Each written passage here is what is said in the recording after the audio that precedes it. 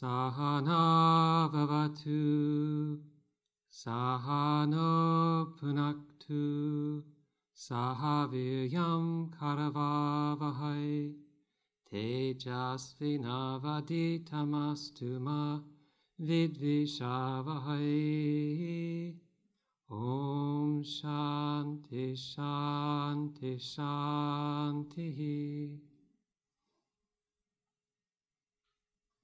May Brahman guide us. May he protect us. May he give us strength and right understanding.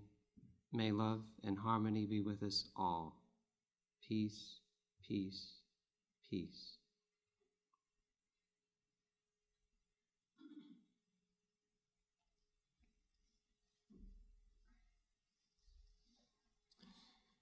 It has um, been our joy to have uh, Swami Sarvadevananda with us these past eight days.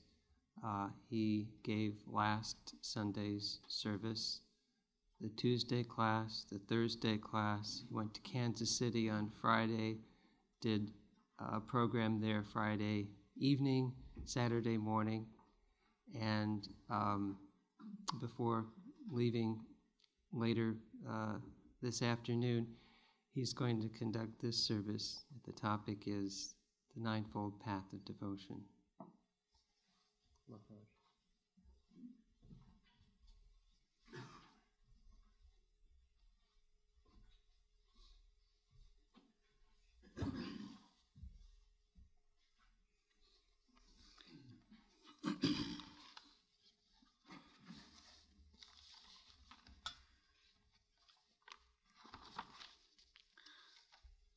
good morning. Nice to see you all again. Today, we'll talk about the ninefold devotion. Actually, this is the story of Ramayana when Sabari went to see, not went to see, she was in her place in the cottage of a hermit, Matanga sage, and Rama came there. And she was waiting her whole life for Rama to come, and ultimately did Rama came and gave his message to Shabari, and that is an eternal message which can help us grow in our spiritual life. As we know, Sri Ramakrishna in this age have said that in this iron age, the path of devotion is wide and safe, and that is easy also. Because God has given us the very sense of loving something, that emotion is a very natural thing with us. We love, we cannot live in the life without loving something or somebody or some object. But how to love God, who is the essence of all beings, who shines through the eyes of everyone, who moves in the body of every being.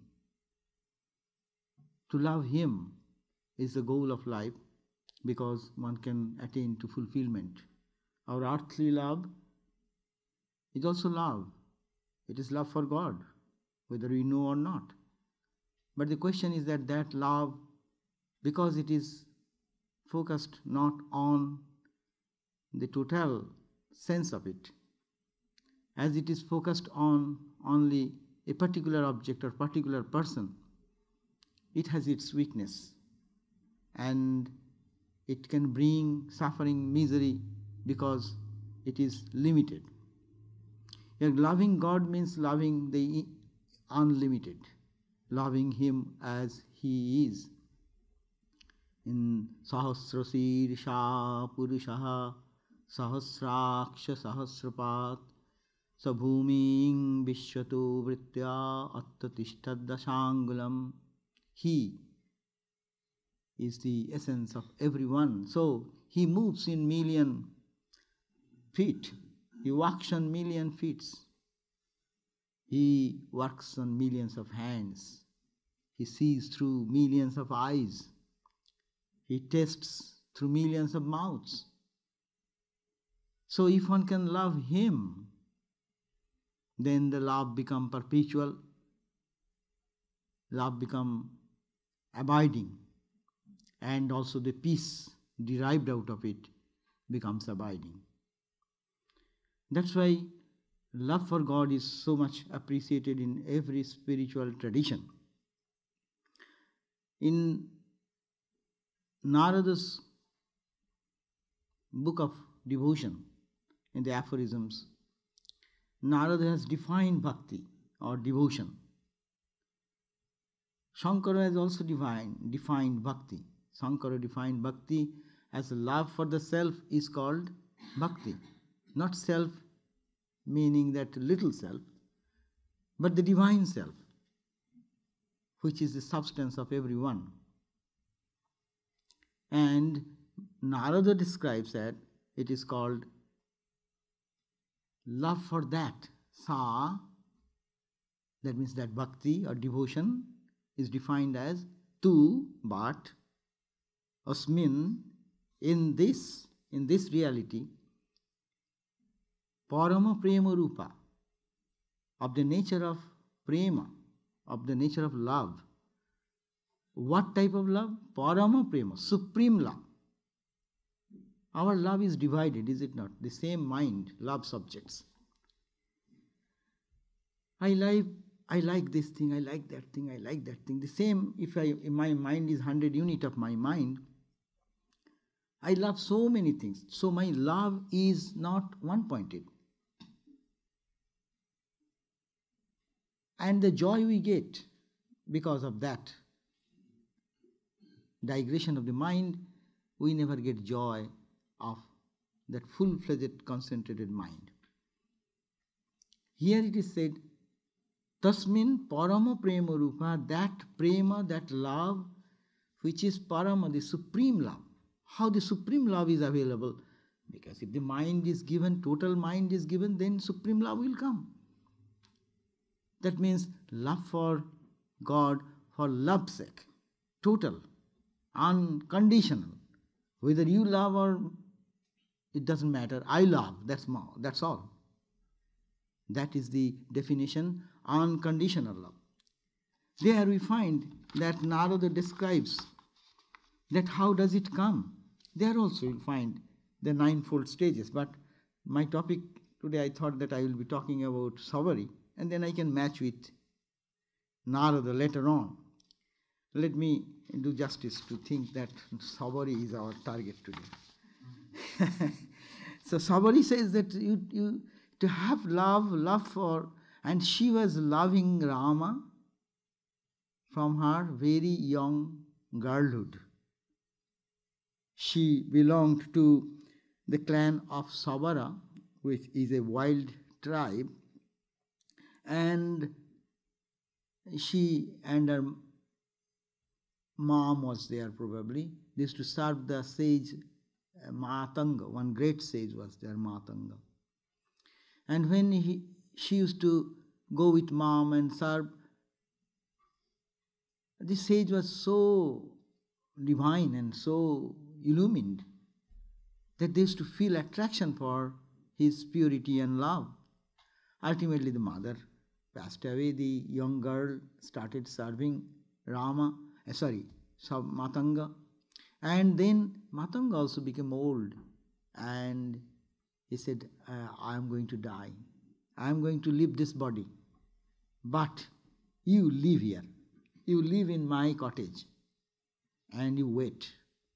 Rama will come in your life. One day, God, who has incarnated in the form of Rama, he will come and be here to give you his blessed blessed presence before you. So she is to wait every day. This is the yearning, what is needed for the highest joy. That much dedication, that much love is needed. she used to pluck flowers every morning. She used to get a shower because thinking today Rama may come. Okay?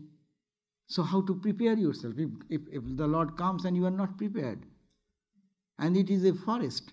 She lives in a forest. So, what she, has, she can do? She is to pluck flowers after the shower. Then she will put flower petals on the road. Rama will come through this, he will walk. So, uh, he will feel comfortable. And then he will also pluck the fruits and taste whether it is sweet or sour. And if it is sweet, then he keeps, after tasting a little, the rest of the piece he keeps. Rama will eat it. See the love. Love has gone to such an extent that I love him, I cannot give him what is not best. So, how can I know it is best? So, you test yourself, bite a piece, and then keep the rest of the thing for Lord Rama. See what a tremendous love has exceeded the normal ritualistic level of love. And then garlanding, preparing a garland, preparing a sandal paste, and whole day repeating the name Rama, Rama, Rama, and waiting, waiting. One day, tomorrow, day after tomorrow, and it went on, and she became quite pretty old by that time. But she didn't give up the hope that Lord Rama will come because his Guru has said he will come. With that hope, he lived the whole life. And the age is not mentioned, but she was pretty old and waiting every day. And one day Rama came. And seeing Rama, he said, Who are you? He said, I am Rama. Oh, you are Rama. And she didn't know what to do then. Out of high emotion, she was lying down flat in the feet and weeping and crying. And see, it happens with our, if you wait for someone whole life and you see that person after that, what will be your condition? So you can imagine that Sabari was so much into that ecstatic mood that she didn't know what to do, how to welcome, how to serve, how to do what to do. Though she is prepared every day because from every day's common preparation, the flower, plucking the flowers, getting ready all day, fruits from the forest, trees, and then pave the whole path strewn with the petals of the soft flowers like that. And then she totally surrendered at Rama's feet, and Rama was also very pleased. And then she said that please advise me something. When she had she asked for some advice. Then Rama gave this nine some ideas about devotion, how devotion can grow. So then the question is that sometimes we think that devotion is dualism, non dualism is higher. I think that this is a very wrong concept in our mind.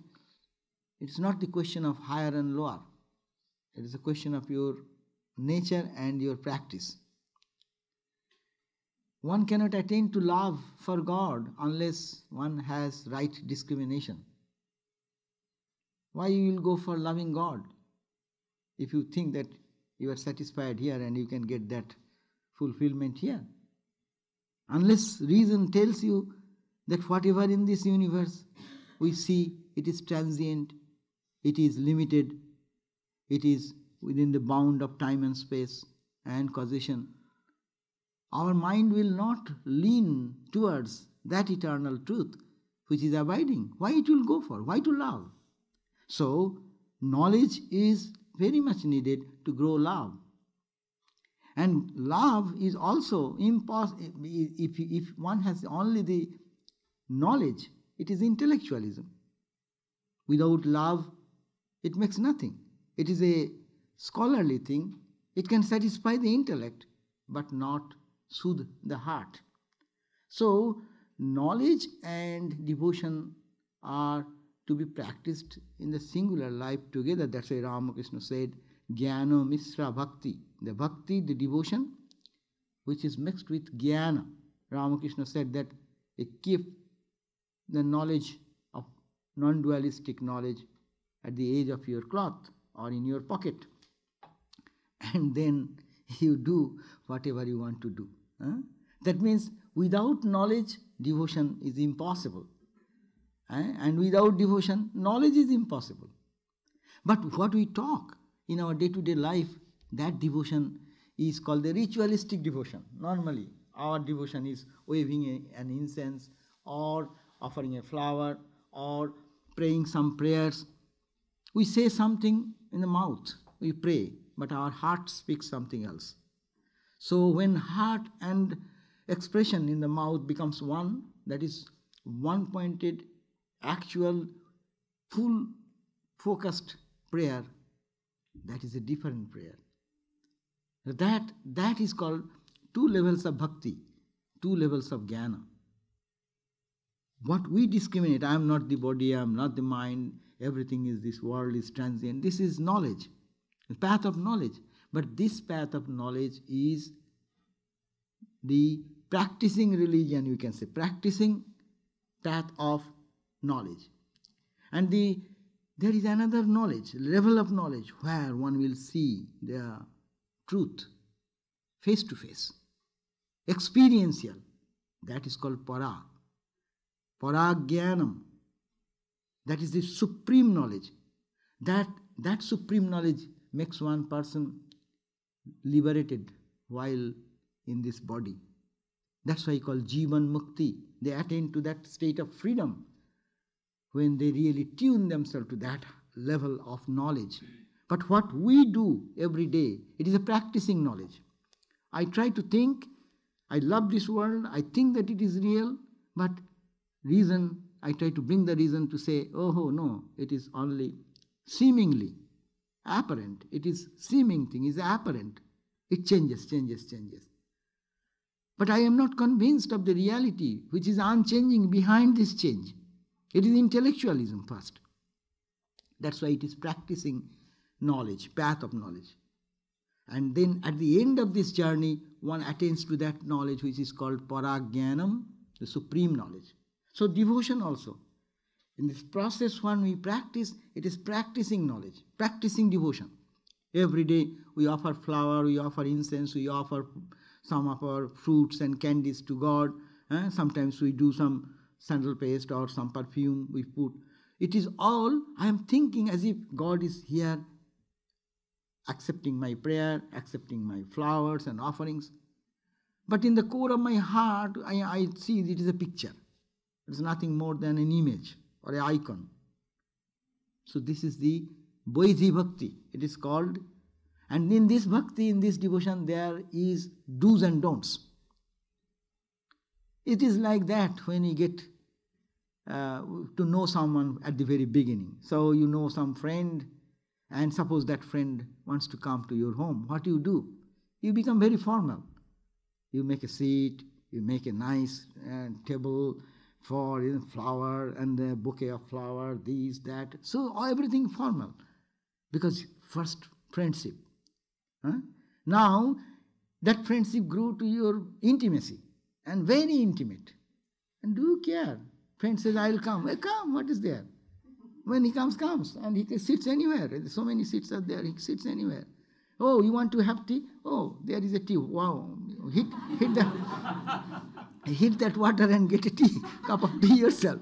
Because you know he's your friend. He is so intimate that that formalities has dropped off. That is the parabhakti. Then you don't feel I'll, I'll have to be formal with everything what I do, what I say, how I treat, and how I put the cup, how I put the saucer, and all these things. This becomes secondary. So in spiritual life, that is the parabhakti, supreme devotion, where people forget about everything but love, love for God. It is example is Ramakrishna's life. Example in the old time we find Srimati who loved Krishna. Srimati used to uh, stand before the mirror and dress herself put flowers in the hair, hair doing and all these things and putting, and thinking, not that I am beautiful, not that is not the idea in her mind. Her idea is that Krishna loves me to see in this, in this particular way of dressing, uh, in this particular way of putting the flowers. She, he likes. Is is liking, Krishna, Krishna, Krishna, Krishna, Krishna.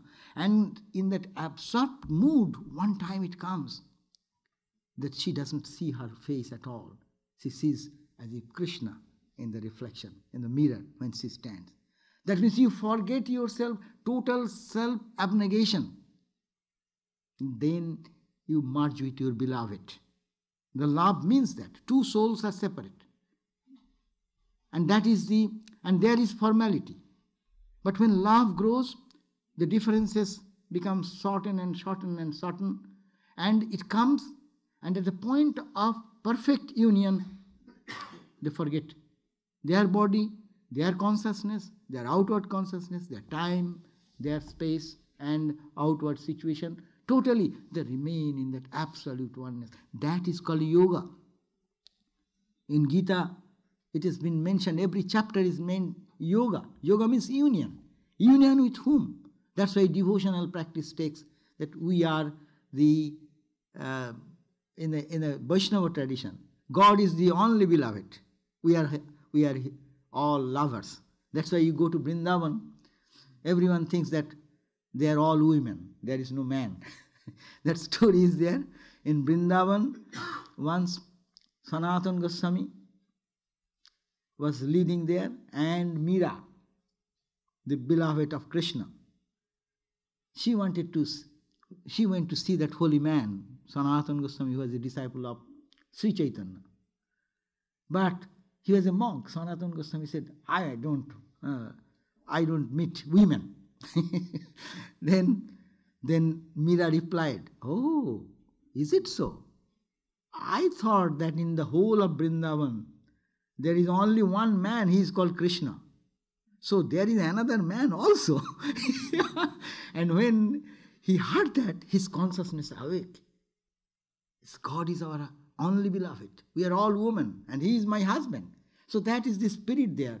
That means perfection comes in the union with God. That is a symbolic way of looking. So devotion leads us to that type of union which is eternal, which is abiding, which is changeless.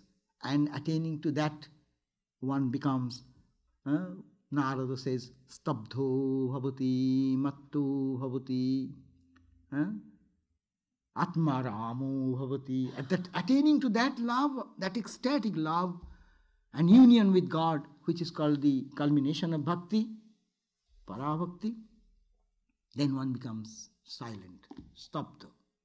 It becomes mute, like Ramakrishna used to be mute. Even the physical symptoms, the breathing will stop. Stabdho bhavati. Matto. Sometimes he'll be intoxicated in that. Ramakrishna, dancing in such a way, totally forgetful about anything, matto bhavati, absorbed in such ecstatic joy that physically he is becoming totally uncontrolled as it were. Matto bhavati. Sometimes he is absorbed in the Atman and, the, and enjoying the bliss of Atman here only. So Atma Ramo bhavati. So this is the glory of devotion. That's why we need devotion. And that devotion should be practiced with knowledge. And the supreme knowledge and supreme devotion, not two. The love, you see in the chapter of the Gita, you will find, you are reading the chapter of the bhakti. And what is the symptoms of a bhakta or a devotee? When one attains to that love, that perfection. And what is in the second chapter? What is the symptom of a jnani? who realizes God in the non dualistic way or in a discriminative path. You see, there is no distinction. The symptoms and behaviors of these two people following this path or that path leads to the same experience. So we have to understand that whatever is your choice, you please take up that. Don't make hierarchy amongst these two paths of sadhana. It is higher, it is lower. Rather, move on in your path and be a sincere seeker of truth in whatever path is your own uh, temperament. It guides your temperament will guide you, and it will be easier for one person to reach that. So, Sabari, let me come to that Sabari story. That means what I wanted to say in between that knowledge and devotion ultimately leads to the same experience. Different paths may be there, but we must have to couple them together. Uh, otherwise, it is like driving the car. I give this example again and again. Driving the car, suppose your steering does not move. It happened with me once. I was driving and the steering is not moving in any direction.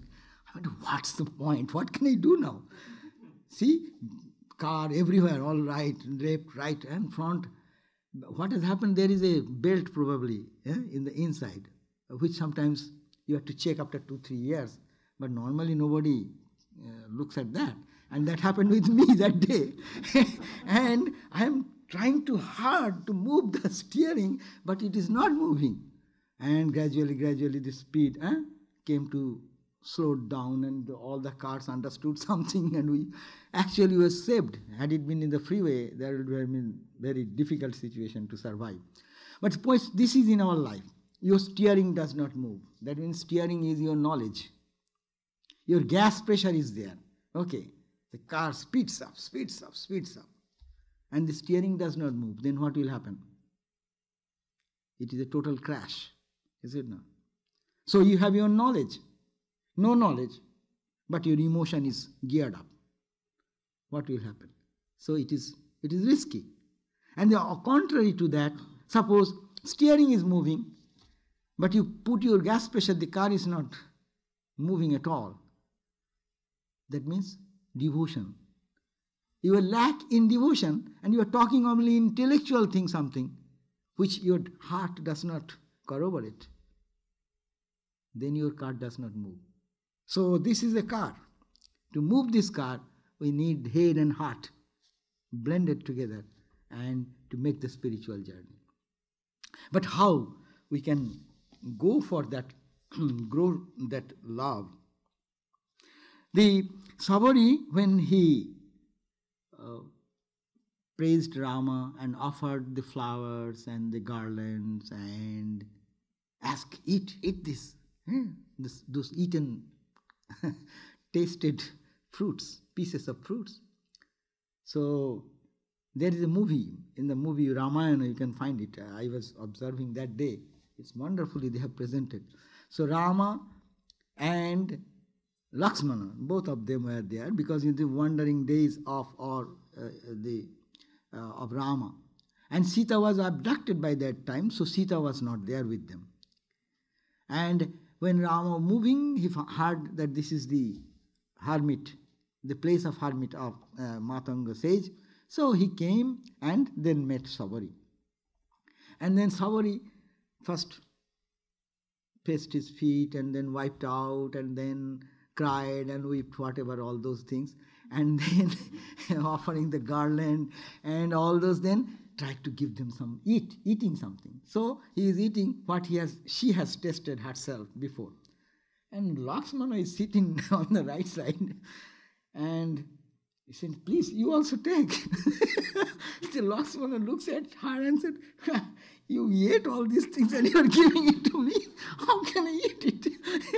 Rama was very pleased because it is given with devotion. So Rama is enjoying the fruits. Eh? But Lakshmana was a little scary about that type of food to eat. but seeing Rama, what he will do, he will have to follow Rama, what he can do. Ultimately, he accepted that. So this, uh, after that, then uh, Rama asked, where actually exactly this spot where the sage Matanga used to meditate. And he was a great austere uh, sage. His spiritual power is tremendous spiritual power.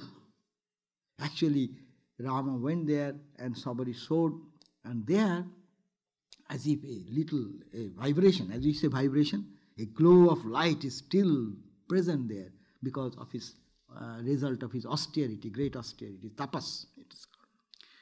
And then, after showing this, Rama was going to back, going to come back. Then Sabari said, "No, I am waiting for you whole life. I don't want to carry this body further, but I want to get some advice from you, instruction from you. So please do advise me uh, in the path of devotion. So he started.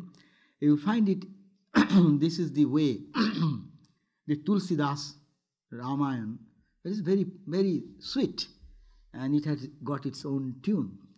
Thousands and thousands of people in India who are Rama devotees, they read this. This is written in uh, colloquial language so that the masses can easily absorb the beauty and charm of this uh, love of Rama. So, he had, Rama said to give this advice, and seeing the ecstatic mood of Savari, he appreciated her and said that I am really pleased with your devotion and your love. So, you are really fortunate. Then she said that this devotion is very rare. And, and nobody can get me without this type of extreme love and devotion. He said, Yati pati kula dharma badai धन बल परिजन गुण चतुराई भगतिहीन नर सोहई कैसा बिनु जल बारिद देखी जैसा He said that that if a person maybe have high rank rank in life, high status in life, jati, pati, kula, dharma, eh, lineage. I belong to this eh, this, this prestigious family. So you may have all this material pomp and grandeur, but, and you may have dhanabala, you are a moneyed man, maybe you have so many friends and well wishers, and everyone adores you, appreciates you, and your qualities are superb qualities, and every direction people praise your qualities. These are all meaningless. If one has no bhagati hina nara sohai kaisa, that man who have no devotion for God is useless, worthless. Giving the example, it is like when in a scorching earth the clouds come, people are willing to, they get joy, they, particularly the agriculture people, the cultivators. Oh, after so many dry uh, days, the rain is coming. So they see some sky, uh, some cloud in the sky. But suppose if the cloud does not carry any rain in that, what is the meaning of that cloud? It only hides the sun. It doesn't do anything good. So if in one's life there is no devotion, it is considered the sweetness, the, the drop of water is like the love. If one does not carry that love, then their life is meaningless like that of the clouds which come only to cover but not to shed the rain to the scorching life. So that is the appreciation, and that is the way one should practice devotion because devotion is very essential in life to bring us to that that type of perfect peace. Now, Rama says that now I'll tell you the ninefold devo- devotion. Nabada bhagati kaha utahi pahi savadhan sunu dharu manamahi. I am talking, I am telling you the ninefold devotion. and you please pay your full attention. And with that, then you can absorb the inner significance of this. He said, first, what is that? Nine. Out of that nine, first is Prathama Bhagati Santana Kar Sangha The very first sign of devotion is that you like some type of friendship, kinship with those people who are sadhu, holy people. Holy people does not mean always monks. You are also holy. Those who think about God, they are holy. That means there will be tendency in the mind. The very first sign of devotion is that one will feel, oh, when I shall go to some people of my liking, who can, who loves God, whom I can talk and open my heart and speak a few words and get inspiration from each other. So, first sign is that Santanaha Karasanga, the association, the tendency to associate with holy people. This desire, actually, that is the starting point of spirituality because we learn much more from a holy person than that of tons of books. We can read tons of books. You have you you you people here, you are all have that experience of the Swamis. So you know how the little contact or association with the holy people can ignite the spiritual flavor in us and give a pointed direction. It may be that holy company is not available, it is not so easily available. Wherever we go, we cannot get holy company. But by one's own good karma and one's purity of the mind, who has finished much of bad karmas, then mind will take him or her in close company of the holy people. And that holy people, even it may be a little momentary contact with the holy people, but it will have its tremendous effect in our life, in future life. It will manifest.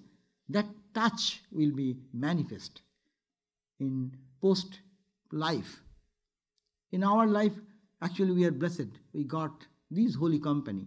And what we are today, it is their blessings, their touch, their life giving experiences or their teachings, what they have given by the presenting their life. I know of one Swami, he was one day walking, you know, and he was he was reading, he was a Vedantic Swami. So, uh, Sarvam khalu idang Brahma, everything is Brahman, that is his attitude. So I was walking, it was a midnight or something, around 11 o'clock. And then he heard a, a, barking of some dogs at a distance. And he was walking, he was not saying anything. Just hearing the barking sound, he, he pointed out, See, that is Brahman, that is Brahman. My God, barking of dog sound can create the inspiration that it is Brahman? That is the life giving message of the sages and saints. You, you, need not have to read the whole Chandogya Upanishad to understand God is everywhere and Brahman is everywhere.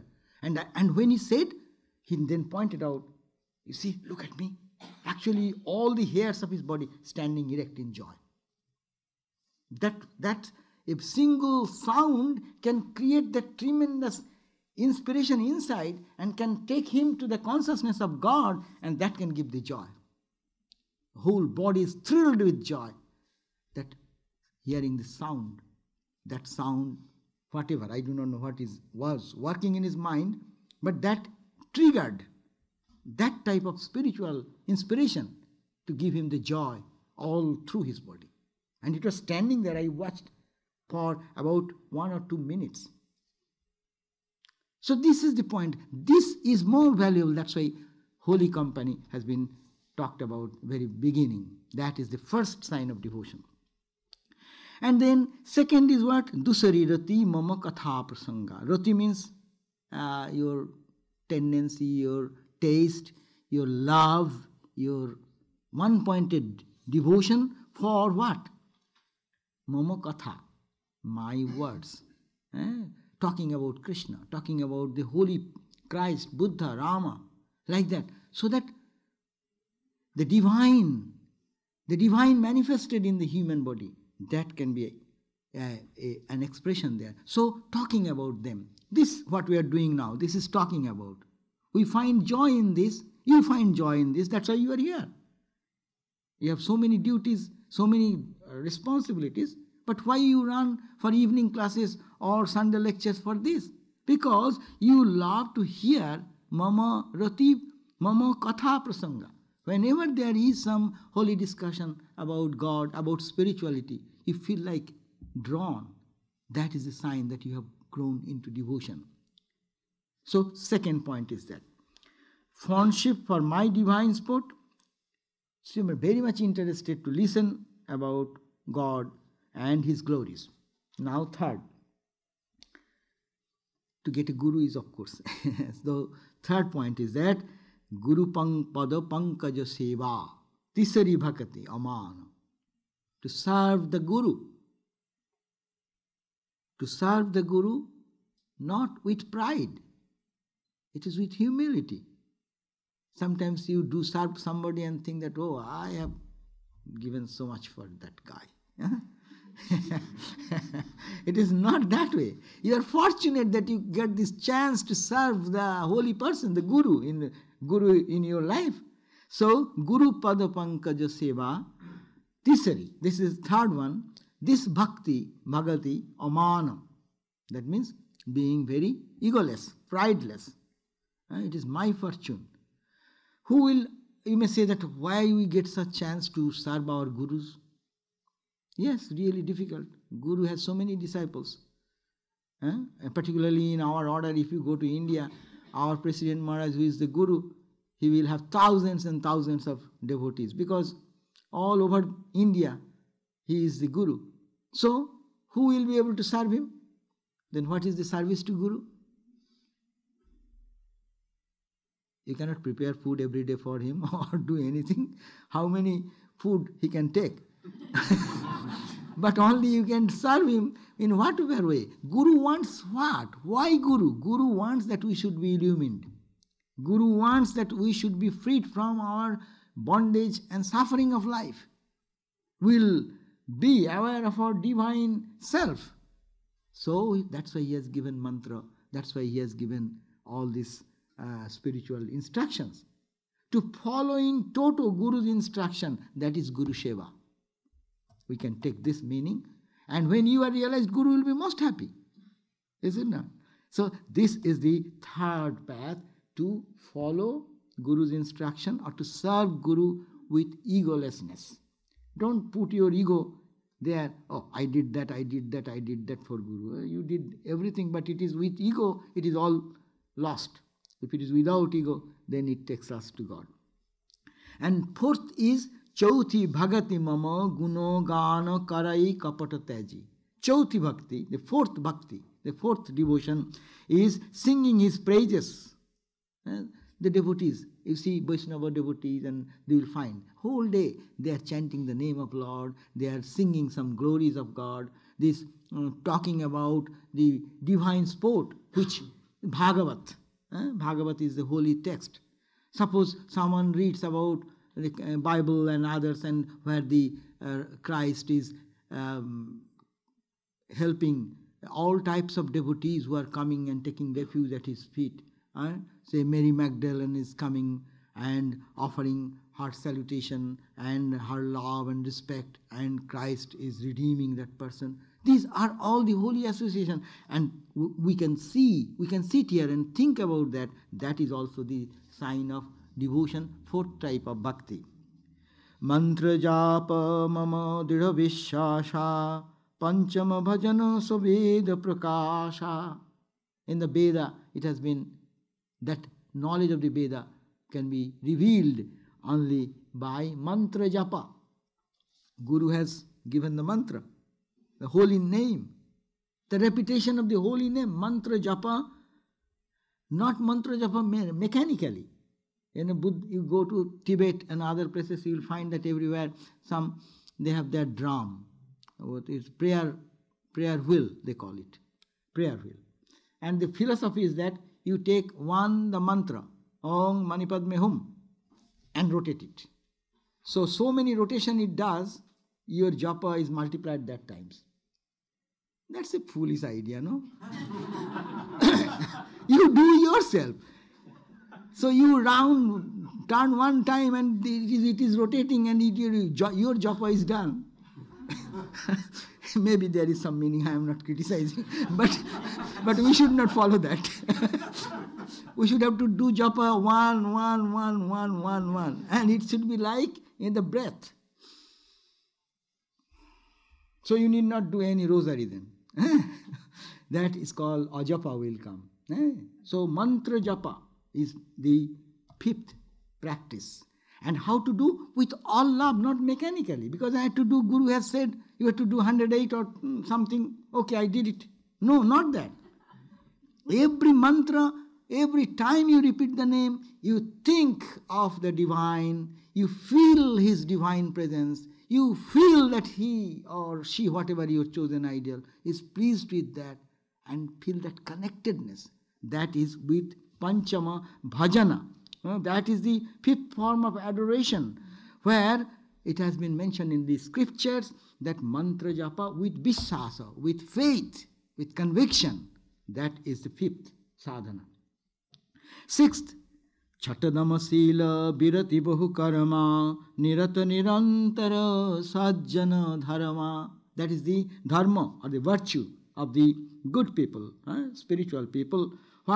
What? Damasila, self-restraint, where to control yourself. This control is a negative person, but that is needed uh, to focus in another direction. So, practice of the self-control desisting from manifold activities.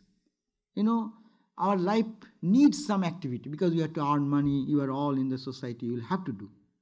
But how much we need and how much we have to engage in action. Day and night, 24 hours, then there is no time for God. That's why it should be done birati bahu karama, not tremendously active or all the time working, forgetting God. Not that much.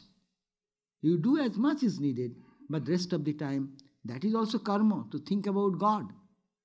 Two types of karma is there. Ramakrishna in the gospel said, one type of karma is that what we do by helping others, doing this other chore work outside.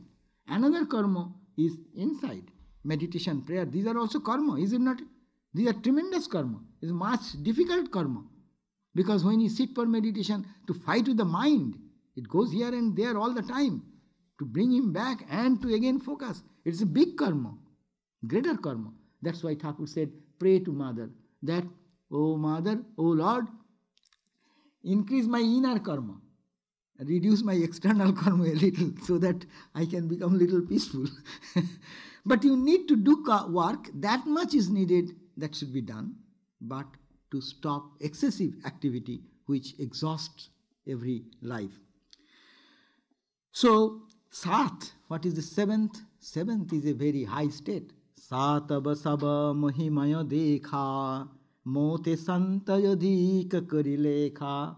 Seventh stage is that you will be, it is in your mind is so pure because of this practice, because of this devotion to the holy people and your japa with faith and trust and all this controlling the uh, outward tendencies. And then the seventh comes Saba Mohimayo Dekha. Uh, everywhere is Rama, Rama, Rama, Rama, Christ, Christ, Christ. That is the seventh state you have attained through this process. Now, seven states come spontaneously to everyone. Saint Patrick used to see Christ everywhere. Why? In the front, in the back, in the right, on the left, up, above, below. And our sages and saints said, Sarvang Kaluidang brahma. Devotees said, ah, Yaha Yaha netra pare taha taha Krishnaspure. Wherever you behold, that is Krishna, Krishna, Krishna. So all the saints have experienced that. So that is the seventh state. Mohimayo dekha. Also it can be practiced. Not looking upon everyone as human being, but seeing that veritable God in that every person, because God is seated in everyone's heart. To see God in everyone, that is the seventh stage of practice or if it comes spontaneously, revelation, whatever. Now, eighth. आठव जथा लभ संतोषा સપન્યો hi દેખઈ પરદેશા oh sorry i have made one point. In the seventh another point is there you love the devotees dearer than that of me even. You love god?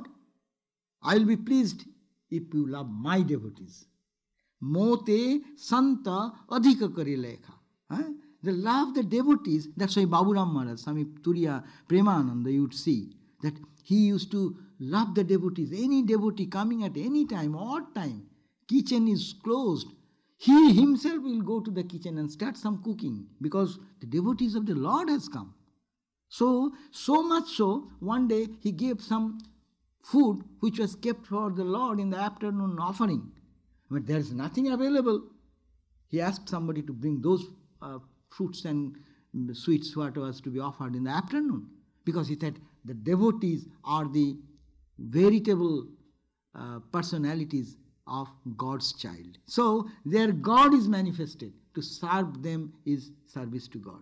So mote santa odhiko. So that is the seventh stage, seeing everyone as the veritable present uh, presentation of the Lord, and particularly loving and respecting these devotees in whose heart the Lord is more manifest. Eighth, as I have said, athavajatha labhasantosha sapane hunohi dekhoi paradosha. stage stages, they will be very calm and serene and satisfied with whatever comes. Good comes, okay, oh Lord, you have sent this uh, happy mood today, thank you. And bad comes, oh Lord, you have sent it for me, okay, thank you. it's very difficult, but but the eighth state is the santosa state, state of perfect uh, satisfaction, because it is coming from God. He is my beloved. If He likes me, eh, to be in some difficult situation, okay, if you like, I love you. We say in our day to day love situation also, oh, I love you so much, I can do whatever you say. Is it not? Normally we say that way. So if I love God, then God gives something to me and He loves me. So why am I to discriminate? Good or bad, my choice, and let Him decide whatever He wants to give. So that's santosa. And as a result, sapanehu nahi dekhai paradosa. Don't eh, they don't see any fault with anyone. That we pray every day before our eating, and not to see fault, find fault with others, but to see our own fault. That is the eighth. And the ninth is Nabama Sarala Sabasana Chalahina Mama Bharasahiyo Harasanadina. Now ninth is a simplicity, guile-like, guileless, childlike simplicity. Chalahina. They do not know any crookedness. Whatever you say, it is very open. Everything is open for them. And they don't know how to conceit, how to be uh, dealing with some deception. This, this attitude, they leave them. Their heart becomes so pure, all the crookedness and angularities are gone. So that is the ninth state that when one becomes like a child. Ramakrishna used to be like a child. So that's why he used to ask for some children who will be of similar mind, pure to the backbone, and have no complication in their mind. That's why that is the sign the Ramakrishna said that the realized souls like the child, child childlike simple people because they have their friendship there. Because they don't keep anything hide and seek. That we keep something here and say something in the mouth because here is something, there is something because I don't want to expose myself, what is in me. But that type of devotion takes them to that simplicity. And mama bharoso hiyo harasanadina. Thinking of me, he, he feels that God is for me. Mama bharasa. And with that hope, God is protecting me. So he never get depressed or she never find any mood of bringing herself or himself down to the level of depression because what it matters? God is for me. The Lord of the whole universe is for me. Who I care for? Why I am to worry about? What will happen? So they become fearless. These are the two signs of spirituality fearlessness and joy. See, a devotee ultimately becomes fearless. Now, he says that, you know, I have told you about the nine different stages of devotion, but Suppose when we'll attain to this ninefold devotion, it's a long way to go. But what is our hope then? Rama says, Don't worry. If out of these nine, nine descriptions of devotion I have given, you have one, oh, then you are a good devotee. he says, Nabamahu yekahu jinnaka hoi नारी पुरुष सचराचर कोई सोई अतिशय प्रियो भामिनी मोरे सकल प्रकार भगति दृढ़ तोरे जोगी बिंद दुर्लभ गति जोई तो कहुआजू सुलभ भई सोई। सेड यू नो नवम हु आउट ऑफ़ दिस नवम नाइन ए कहू ओनली इवन वन जिन्ह को होई any one who possess this one quality of this nine then whether he और शी बी ए मैन और ए वोमेन ये मे बी सचर अचर a moving animal moving animal non moving sentient or insentient that is most beloved to me. I love that devotee. Huh? out of these nine qualities if one has one quality so we have some quality i think. We can be proud of that to develop more. And all these types of bhagati devotion will be established gradually in him. And then ultimately he or she will attain yogi brinda daral duralabha gati joyi which is the rare state of achievement of the yogis for which they are doing yoga practice for lives and lives. That state of perfection you will attain. Tokuhuaju Sulava, a very easier path, very easy direction I have given to attain to that same flight which the yogis will attain, you will attain by this practice of devotion. And saying so, Rama said, Let me go. He said, No, I'll not ask you to go, but I don't need this body to carry on. It is already old, very old. Eh, It was waiting for you to see you in physical body. So I'll sit here, and she sat there, and in meditation, she left her body, eh, and that body eh, entered into light. And that ends Savari's ninefold devotion. So here we pray that if we have little love like that, either we have satsang, holy company, or someone is absorbed in japa, or guru bhakti, or whatever, all this has been mentioned, any one will lead to other. That's also another important. Not necessarily all is possible for us because we have our limitations. But if one starts at any point, the others will be added to the life. Thank you all.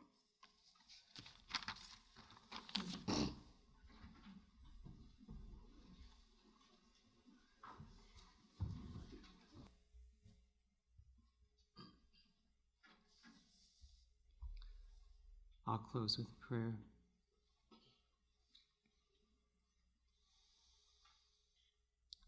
Om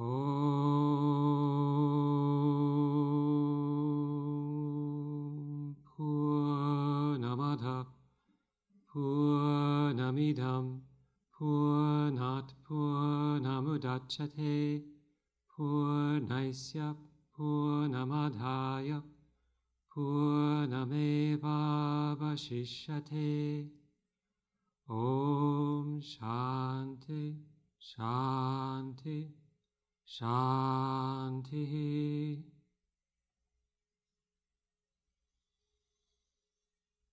There is one unbroken, undivided, limitless, unitary spiritual reality.